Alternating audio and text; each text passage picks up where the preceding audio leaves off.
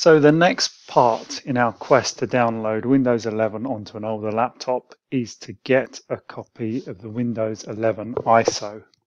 And to do that, just go into um, Google, type in Windows 11 ISO, and you'll come to the Windows 11 download page, the official one from Microsoft.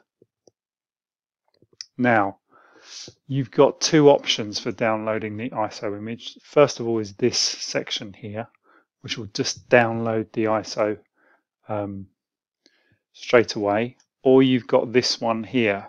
Um, and I use this one here about using the installation media because actually it's slightly quicker and the file is slightly smaller than this option here. Don't ask me why, it just is. So all we would do here is just click on download and there you go. You can see that I've downloaded it multiple times. And we're gonna say yes, we want it to start working.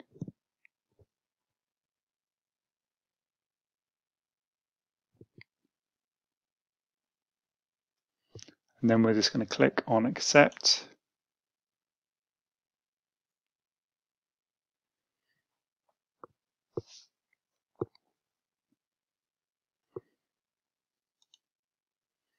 And then I'm just going to accept those, use those um, options there. That's fine. And on this section here, you want to do the ISO file. We don't want to do the USB flash drive. We want to do the ISO file. And it will be obvious why we want to just do the ISO file um, in the next stage of the installation. But at this point, just trust me and select that. Right, I want it to store, this is where do you want it to save it to? I want it on my desktop so it's nice and obvious, I don't forget it. And it's just going to save it as Windows 11, Windows.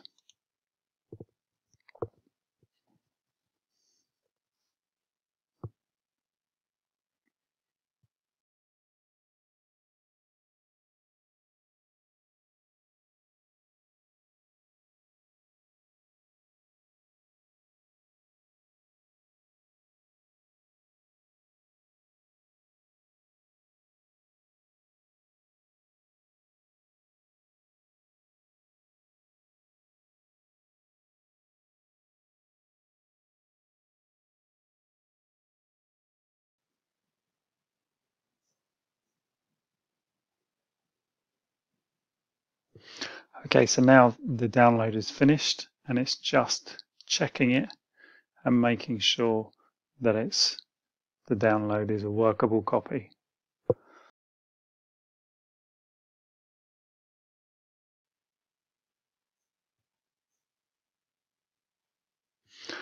Okay, so there we go. You can see that the download has completed and it's checked it out and it believes it to be okay.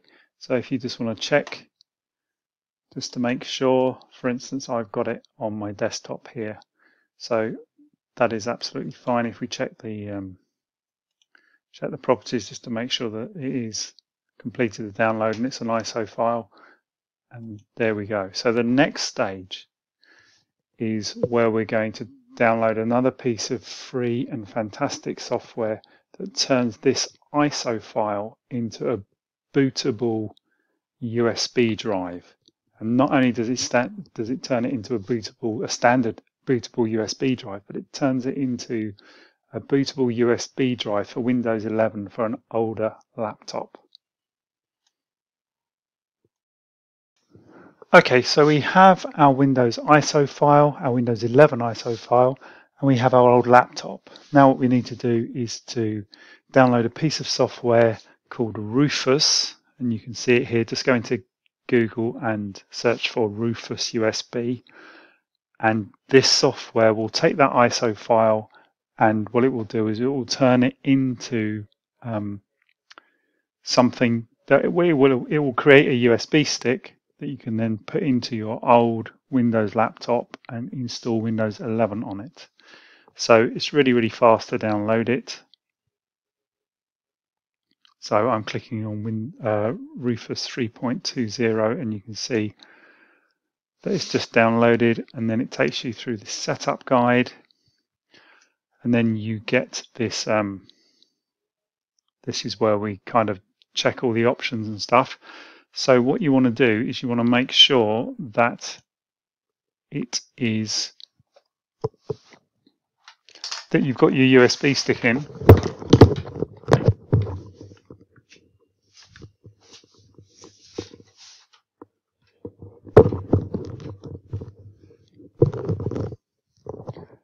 I've um, forgotten to do there. So there's the USB stick that I want. And then the next section is to tell it where to find the ISO file. So there it is on my desktop. You want this image option to stay at Windows, standard Windows selection. And then this partition scheme, you want GPT. Now GPT is a partition scheme that all modern computers use. And by that I mean computers that have been made in the last 10 years or so. So we're going to leave that as GPT and then you just leave all of these other format options as they as they are and just click on the start button. And this here you then get this um, lots of options here that Rufus is giving you. And these are all the hacks that enable Windows 11 to be, to be installed on an older laptop because it's removing some of the requirements from the kind of standard Windows 11 system. So as long as you've got the first two ticked and checked, then you should be fine. And I've also gone for the third one, which is all about disabling data collection, which just speeds up the process somewhat. And when you've really kind of checked all of those, ticked all of those, press OK, you'll get um, a warning about the USB stick will be wiped and off we go. And this will take around 15 minutes to create this Windows 11 bootable USB stick.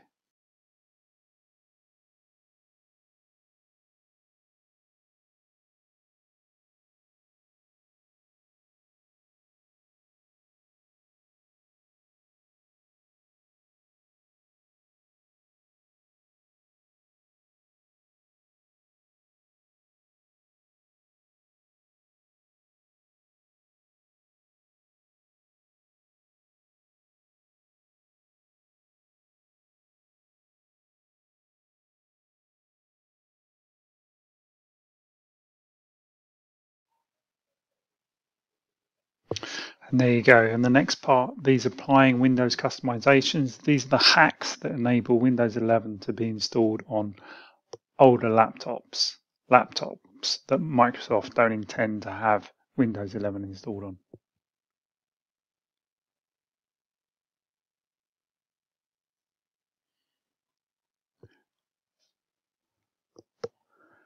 And we're nearly there.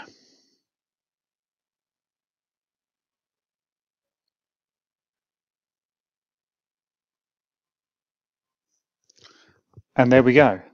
A USB stick has uh, a copy of Windows 11 on it and it's ready to be plugged into an old laptop and for Windows 11 to be installed on that old laptop.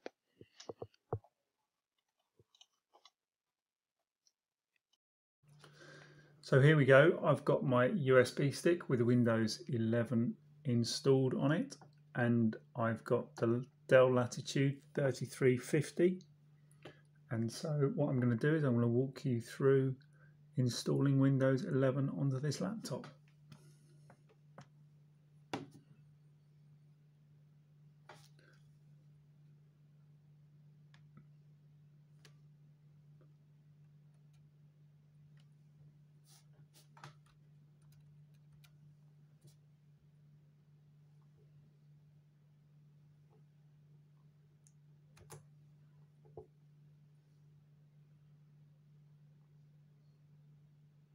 I just pressed the F12 button there and got it to boot from the USB stick. So this laptop um, has got an i5 fifth generation processor in it. It's got uh, an SSD as opposed to um, an older hard disk drive and it's got 8 gigabytes of RAM.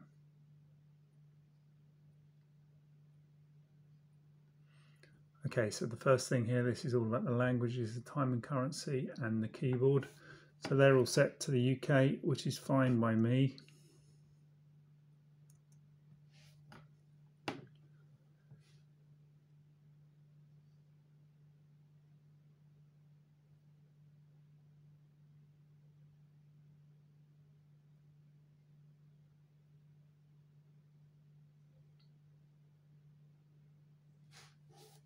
Okay, I'm just going to accept Microsoft terms. I'm just going to pause this whilst I delete these.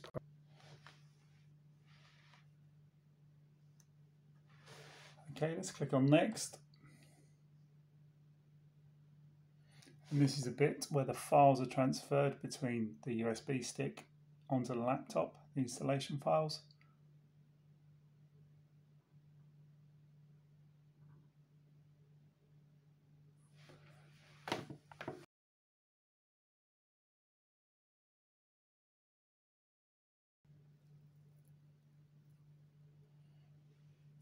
Okay, so all the file swapping's been done. We're just about to enter our first restart. Now, when I installed Windows 11 on a Latitude E6420, which has got an i7 processor in it, but it's only a second generation one. Processing time took, sorry, the installing time took around 40 minutes. So it'll be interesting to see how this mashes up.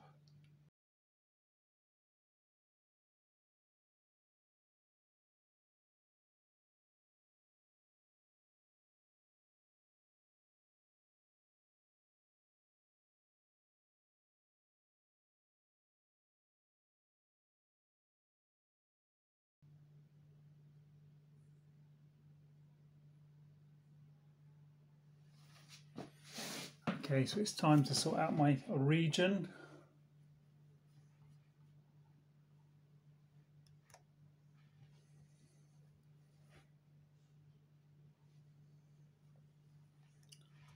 Go to the United Kingdom keyboard. I'll skip another keyboard. I'll just pause here to, put my Wi-Fi in.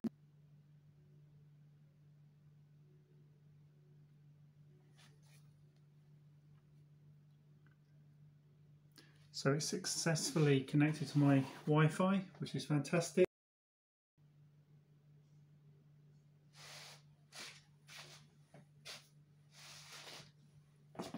Now I'm just going to name the device.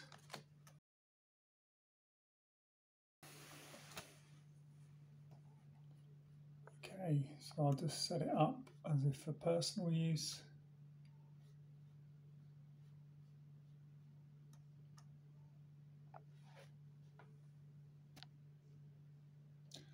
I'll just do my sign-in details.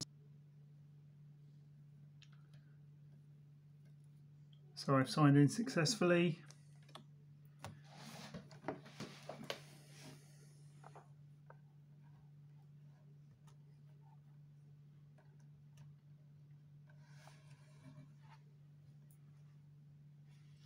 I'll just create my PIN.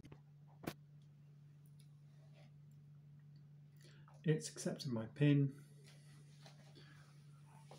I'll just skip these customizations.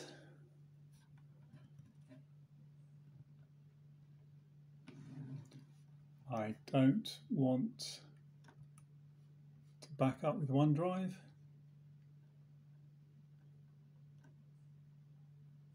And I don't want Microsoft 365. Neither do I want their Game Pass.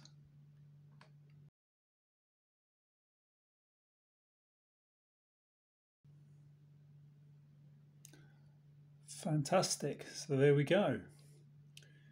Windows 11 has been successfully installed. We can see there the display driver is obviously working perfectly. We've got the Wi-Fi working. So it all looks good. And that install time was about 17 or 18 minutes with that strange, it almost repeated the first part of the installation over again. So that was a that was a little bit strange, but apart from that, everything went smoothly. And what I am going to do is I'm quickly going to do a restart. I'm going to shut it down and then start it up because I'm I want to know I want to know how quickly it will start up.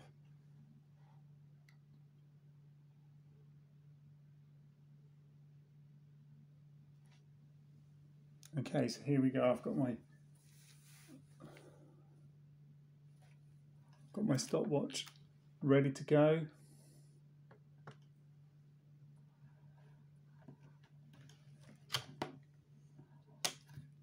Now when I did this, when I measured the startup time on the Latitude E64 20, it had a startup time of